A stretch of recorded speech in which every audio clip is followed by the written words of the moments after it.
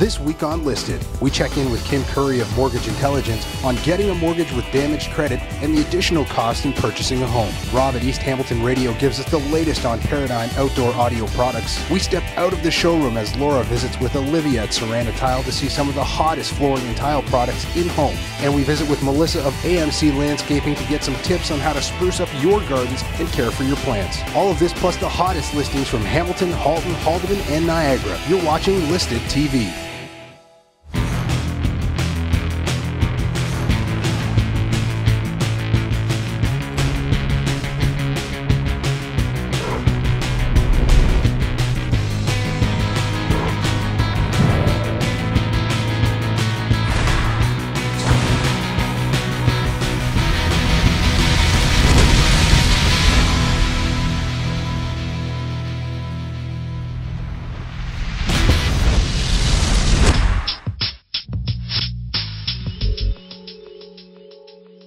So we're seeing more and more requests for low maintenance gardens from busy homeowners.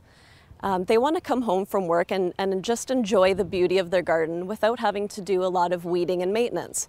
Uh, so there's one great way that we can do this, and that is to use a commercial grade landscape fabric and custom tailor it to the bed of your garden. Uh, we can then use many different ground covers such as cedar mulch, black mulch, pea gravel, river rock, potato stone, um, and that way this virtually eliminates the need for weeding.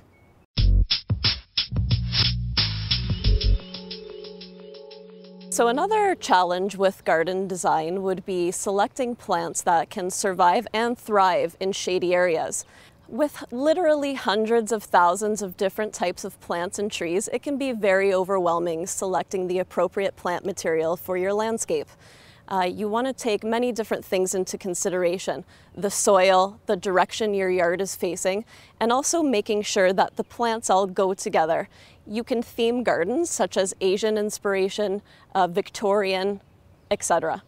A landscape designer can be a really huge help to this end. Another option is to purchase a formal landscape design and a consultation from a landscape designer. Uh, this will put everything on paper, including the actual design and a specific plant list with care and maintenance tips.